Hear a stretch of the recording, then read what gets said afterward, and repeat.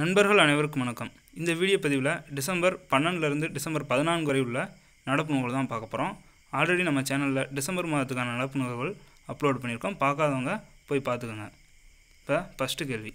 New York மத்திய reserve வங்கியின் துணைத் தலைவராக தேர்வு செய்யப்பட்ட இந்திய வம்சாவளி யார்? ஆன்சர் பார்த்தீங்கன்னா சுஸ்மிதா சுக்லா. இரண்டாவது கேள்வி. தற்போது நிலவுக்கு விண்கலம் அனுப்பிய முதல் தனியார் நிறுவனம் ஐபேஸ் எந்த நாட்டை சார்ந்தது? ஆன்சர் பார்த்தீங்கன்னா ஜப்பான் நிலவுக்கு விண்கலம் அனுப்பிய முதல் தனியார் நிறுவனம் எதுன்னு பார்த்தீங்கன்னா ஐஸ்பேஸ் இது எந்த நாட்டை சார்ந்ததுன்னா ஜப்பான்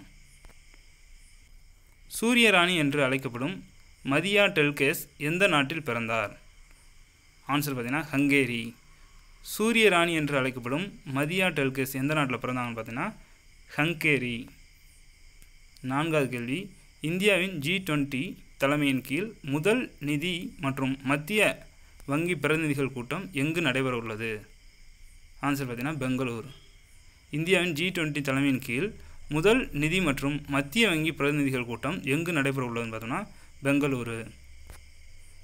ஐந்தாவது கேள்வி.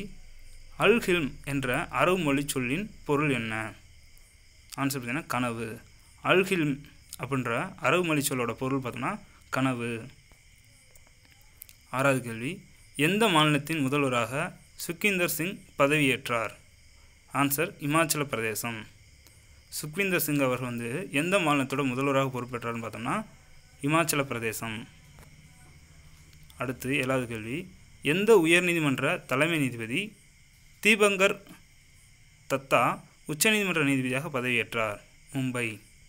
எந்த உயர்நீதிமன்ற தலைமை நீதிபதி தீபகர் தத்தா உச்சநீதிமன்ற நீதிபதியாக பதவியேற்றார். ஆன்சர் பார்த்தீங்கன்னா மும்பை.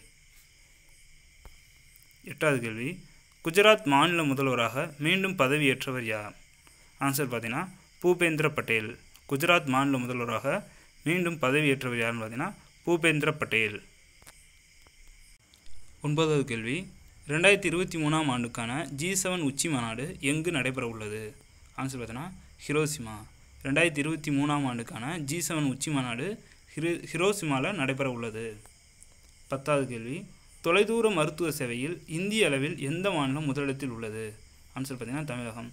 தொலைதூர மருத்துவ சேவையில் வந்து எந்த மாநிலம் முதலிடத்தில் உள்ளதுன்னு பார்த்தோன்னா தமிழகம். பதினோராவது கேள்வி.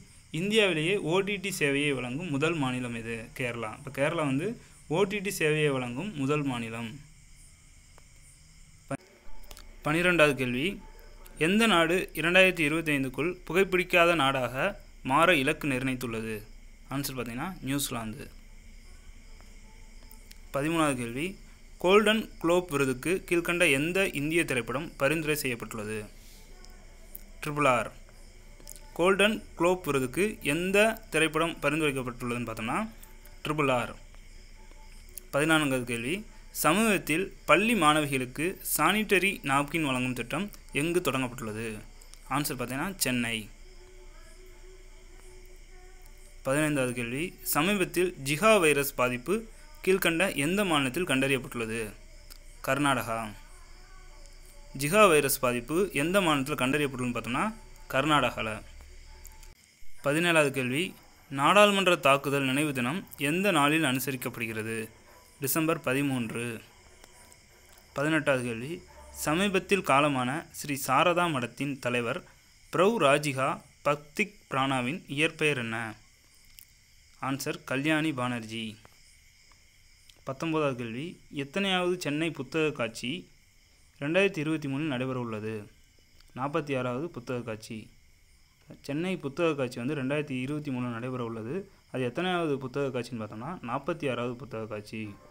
நன்றி நண்பர்களை இதே போல் அடுத்ததொரு வீடியோ பதிவில் சந்திப்போம்.